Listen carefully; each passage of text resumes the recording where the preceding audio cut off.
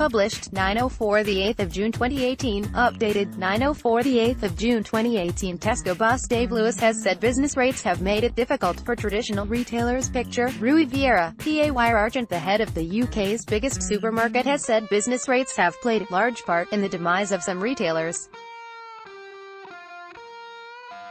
Tesco chief executive Dave Lewis suggested the current rates regime had created an uneven playing field that was putting traditional retailers at a punitive disadvantage.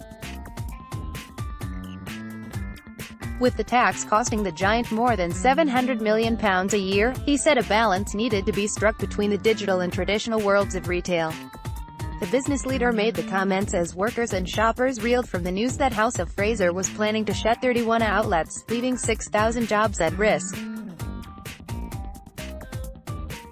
The closures, which account for more than half of the chain's 59-store estate across the UK, are the latest in a raft of similar measures taken by companies as they struggle with rising business rates, labour costs, competition from online rivals and a slowdown in consumer spending. Labour has accused the government of presiding over high street annihilation, with failing to ensure a fair business rate system partly to blame.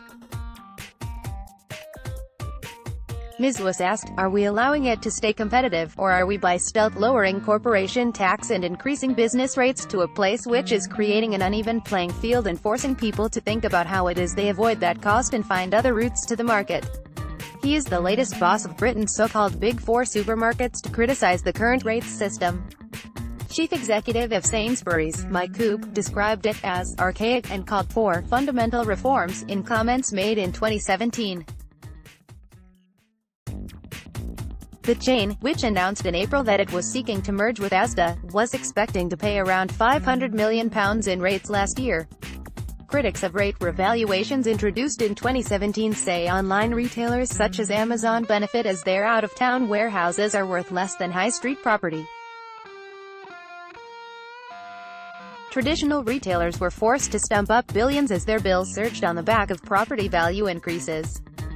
According to an estimate by rates specialist CVS, businesses in England and Wales are bracing themselves for a £1.2 billion tax hike next year, while a large number of companies are being dragged to court for failing to keep up with climbing payments.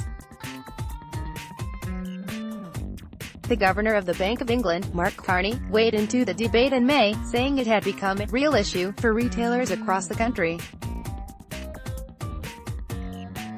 As well as the bosses of what could soon be Britain's two largest supermarkets. A series of major retailers have warned of the impact rates are having.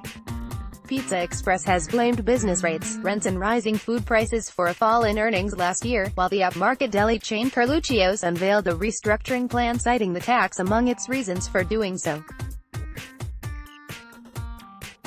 On the eve of House of Fraser's announcement, Labour's Shadow Business Secretary, Rebecca Long Bailey, accused the government of presiding over a recipe for complete high street annihilation.